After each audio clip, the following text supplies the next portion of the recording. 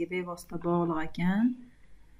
Ho'p ilova nima uning maqsadi? Ho'p ilovalarimiz e, o'z navbatida bizga e, muayyan maqsadlarni ya'ni muammolarni hal qilish uchun hisob kitoblarni avtomatlashtirish uchun kerak bo'ladi. Komponentlarga asoslangan dizayn. Bu albatta har bitta bo'limni alohida alohida bir biridan farqlab turish uchun kerak bo'ladigan dizayn qismlari hisoblanadi.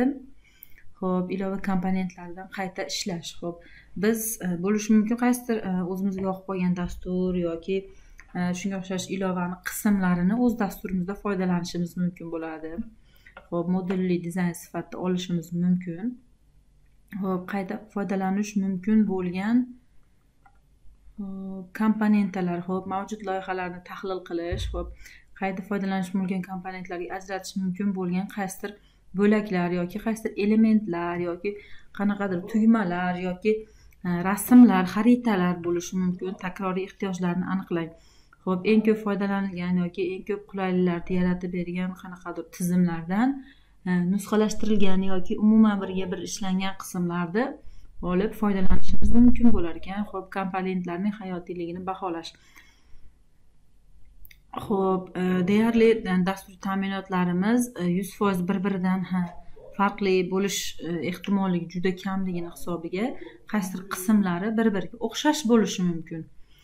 Shuning uchun biz foydalanayotganimizda muayyan qaysidir qismlari bevosita o'xshash bo'lib qolishi mumkin yoki qaysidir komponentlar joylashuvi deymizmi yoki javoblar natijalarni chiqarishimiz deymizmi shunga o'xshash joylari o'xshash bo'lishi mumkin yoki qayta foydalanilgan bo'lishi mumkin o'zi aslida. Ho'p mavjud ilova loyihalardan komponentlarni ajratib olish. Ho'p komponentlarni ajratib olish deganda e, biz o'sha e, ishlab turgan ilova yoki dasturiy ta'minotni qaysidir qismini o'zimizni dasturimizga biriktirib olishimiz ham mumkin bo'ladi. Misol uchun bitta tashkilot veb sayti bo'lsa qo'shimcha xizmat qo'shilgan bo'lsa saytni yangitdan yaratib o'tirmaydida qaysidir qismiga e, yaratib turib qaysidir qismini bitta bo'lagiga tugmasiga yoki e, qaysidir e, rasm yoki havola orqali uzatib yuborish mumkin bo'ladi. Modulli va masshtabli komponentlar. Modulli komponentlarimiz o'sha qismlarga ajratilgan ichma joylashgan o'sha komponentlarni e, birlashtirilgan holatda tashkillangani bo'lishi mumkin. Hop komponentlarga asoslangan arxitekturani amalga oshirish. Hop birinchi bo'lib biz dasturni ko'zdan kechirganimizda eng ko'p e'tibor beradiganimiz dastlabki holati dizayni bo'ladi. Э, qarab chiqamiz. Qayerdan biz qanaqa imkoniyatlarga amalga oshirishimiz mumkin? Misol uchun pul aylanmalarini amalga oshirishimiz kerak bo'lsa e, kartalar bo'limi qayerda bo'ladi degan savol tug'iladi. To'lov tizimlari qanaqa qo'shimcha xizmatlar kiritilgan foiz stavkalari qancha bo'ladi? Shularni qidirib topishimiz eng qulay bo'lgan dizaynni biz tanlab olishimiz kerak bo'ladi.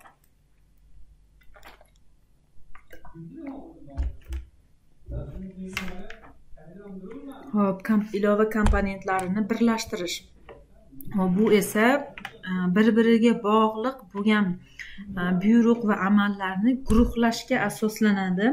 E, eng sodda misollardan biri o'sha to'lov tizimlarini oladigan bo'lsak to'lovlar degan bo'limida barcha to'lov tizimlari yoki to'lov qilishimiz mumkin bo'lgan xizmatlar jamlanmasi bo'lishi kerak kartalar bo'limiga kirganmiz hamma kartalarimiz birgalikda ochiq turgan bo'lishi kerak. Qancha summasi bor xalqaro karta bo'ladimi yoki o'zimizni mahalliy kartamiz bo'ladimi? Hammasi ko'rinib e, biz e, yuborgan arizalarimiz yoki qanaqadir xatoliklar bizga kelgan bildirishnomalar hammasi bizga ko'rinib turishi kerak. E'tibor bergan bo'lsalaring ilovalarimiz hammasi Э, har xil e, banklar yoki har xil tashkilotlarniki lekin bajarishi mumkin bo'lgan funksiyalar bir xil lekin ularni dizaynini o'ziga xosligini dasturchi tomonidan tomonidan o'sha nima qilingan tuzib chiqilgan bo'ladi. Bu komponentlarni o'sha e, buyurtmachi tomonidan belgilangan talablarga asoslab ishlab chiqiladi. Komponentlarni boshqarish bo'yicha eng yaxshi amaliy amaliyotlar deyapti. Ho'p e, nomlarni e, umumlashtirish ya'ni o'sha amaliyot bir xil bo'lsayu o'sha ishni bajarsayu nomi ikki xil bo'lib qolsa e, bu narsani misol uchun foydalanuvchi sezmay qolishi mumkin. To'lovlar yoki o'tkazmalar degan so'zlarni masalan sinonimlarga almashtirib o'zicha unikal qilmoqchi bo'lishi mumkin lekin bu foydalanuvchiga nisbatan noqulaylik tug'dirib berishi mumkin bo'ladi. Ho'p versiya nazorat bu albatta dasturda yangilanishlarni nazoratga olish hujjatlar ya'ni maxfiyligini amalga oshirish markazlashtirilgan ma'lumotlar bazalaridan foydalanish bu deganda hozirda eng rivojlangan yagona identifikatsion ma'lumotlar bazasi ya'ni e, o'sha har bitta odamni e, face kontroli pasport ma'lumotlari orqali e, hozirda eng rivojlanib ketyapti. Ma'lum bir saytlarga kirganlaringda yoki masalan mygo degan saytlar bor. Даже bizni hemis degan saytimizga ham talabalarimiz agar login parollari esdan chiqib qoladigan bo'lsa o'zini one id tizimi orqali pasport ma'lumotlarini kiritgan holatda foydalanish mumkin bo'ladi. Bu esa bu esa e, ko'plab qulayliklar tug'diradi. Markazlashtirilgan ombor ya'ni pasport ma'lumotlaridan foydalangan holatda dasturdan foydalanish hozirgi kunda eng ommalashgan algoritmlardan biri hisoblanadi. Ho'p xulosa va asosiy xulosalar. Ho'p aytib o'tishimiz mumkinki e, o'sha qayta foydalanish mumkin bo'lgan algoritmlar bizga odatda qulaylik tug'diradigan murakkablashtirmaydigan dasturni asosiy funksiyalarini o'zgartirib yubormaydigan qismlari bo'lishi talab etiladi. Hop misol uchun hop ishlab turgan bitta dasturimizni oladigan bo'lsak mana oddiy hisob kitob dasturini oladigan bo'lsak mana.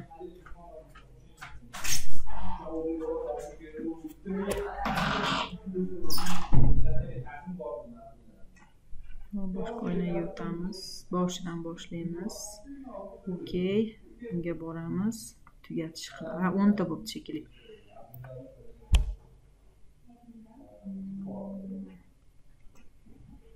ho'p chiqib ketdi. Mana shu dasturimizni biz kamchiliklarini bartaraf etgan holatda yangilashga harakat qilamiz.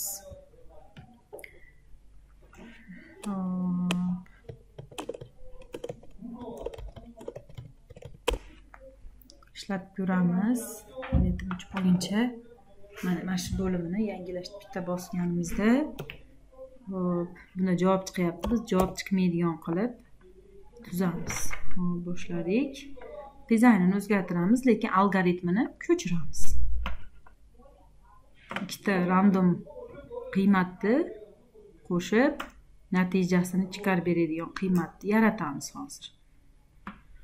Hop ikkita label tashlaymiz monetga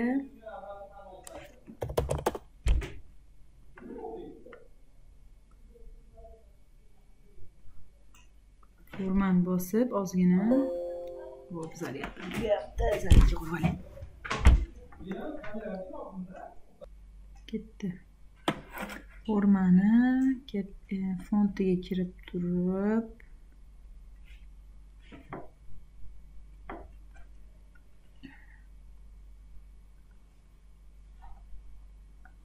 kattalashtiramiz birinchi son o'rtadagi amal yana bitta label tashlaymiz ikkinchi son. Yigit tashlaymiz Ikki biz javobini yozamiz qiymatga label tashlaymiz to'g'ri deb chiqarib beradi maniki ketdi bitta battin qo'yamiz battinni captionini next deymiz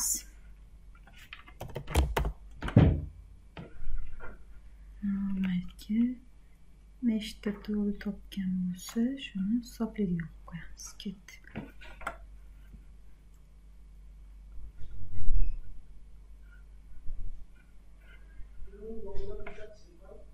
forum aktivga yozamiz ho'p eng tepada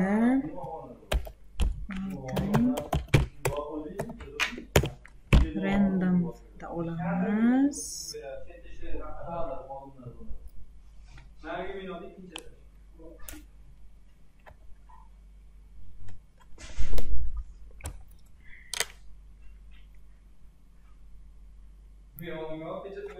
Universitetten Romancılık dikana işte yapıyor. Dikana dikana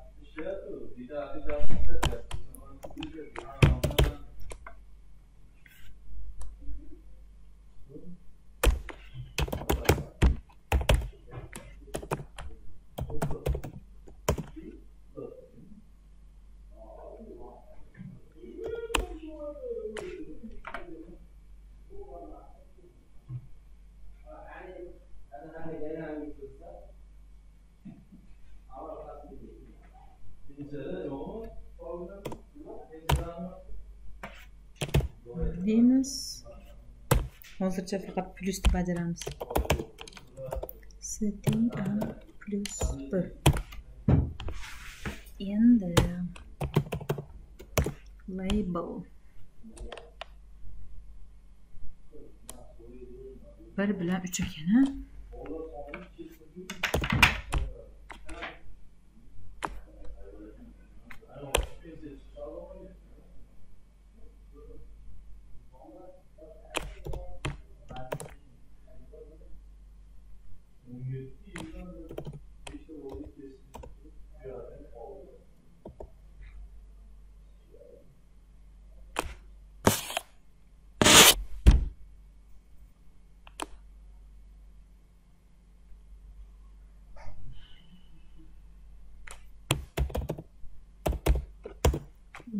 Sterling.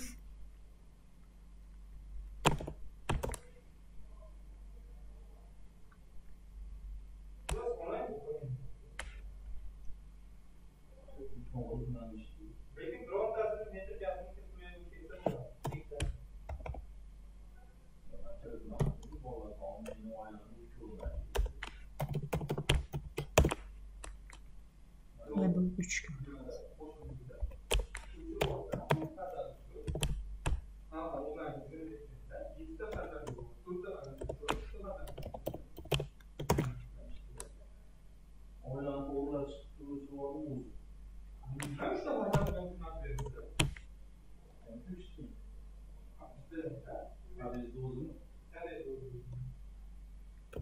Deymiz mana o'zgartirib qo'yamiz hozircha buni plyusga o'tiramiz Bir milyonda shunday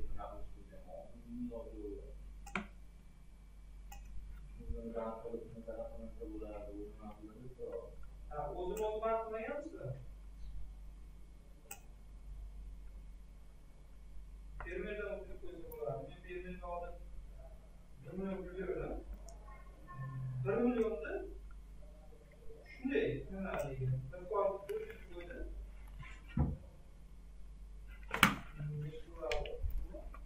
o'n million olgan bilan bir million qo'liga berib keldi bir million to'g'ri buxgalter nimaga tuzib qo'ydi hali bor ikki yil bor ikki million bor bir million berib kelaman hozir ikki ming yigirma uch yili to'rt yuz beribdi u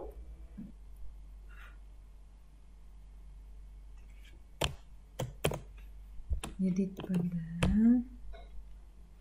teksti nuqta to ink bor ekan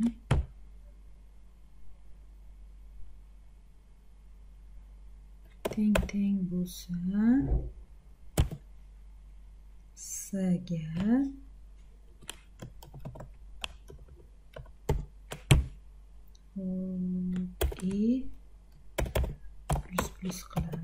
keyin label 5 ni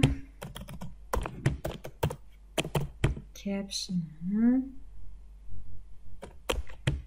teng bo'lsin i deydi va label 4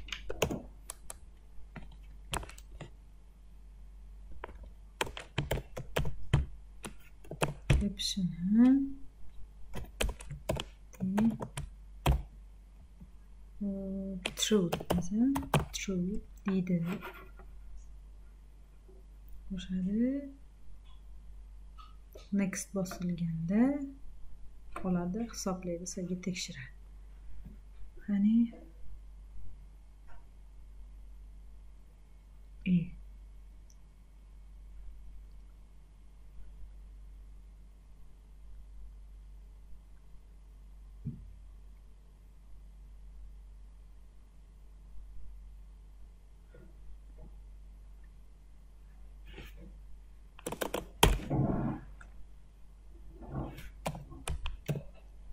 Söylemekçi. Ama mana 7 plyus 4imiz 11 bo'ladi. To'g'ri. 7 ga 7 imiz 14 bo'ladi.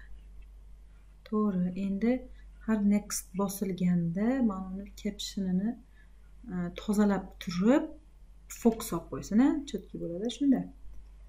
Button bosilishiga mana bu buttonimiz klik bo'lishiga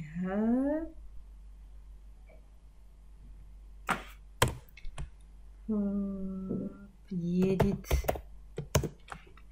birni teksti teng bo'lsin.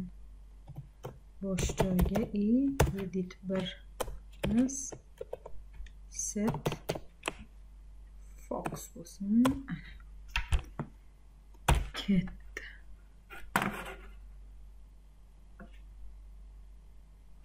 Yettiga to'rt. O'n bir to'g'ri yettiga yetti. O'n to'rt to'g'ri oltiga nol. Olti to'g'ri o'n besh. Bir. Olti to'g'ri. Ha iyni qiymatini.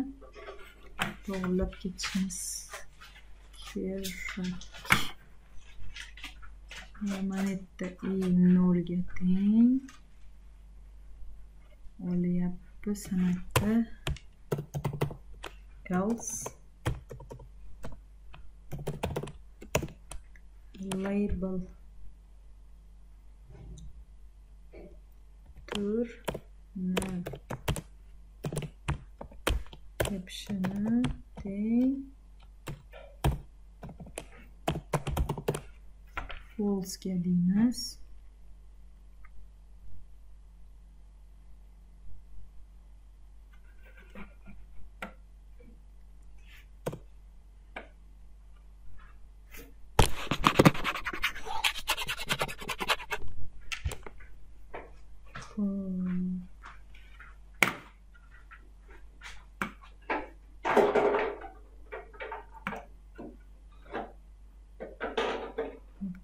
Ketsaga tekshiradi iyni qiymatini qo'shadi next bosganda false deydi keyin ani oladi bni oladi. Ho'p a deydi b deydi. S teng. Ho'p s teng a plyus b deydi